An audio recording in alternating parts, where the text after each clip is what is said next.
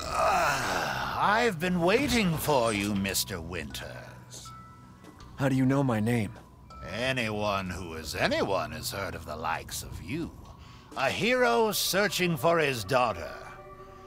Though I must say, that castle arouses suspicion. Yeah, and so do you. I am but a humble merchant. Here? Oh, forgive my manners. Call me the Duke. Now to business.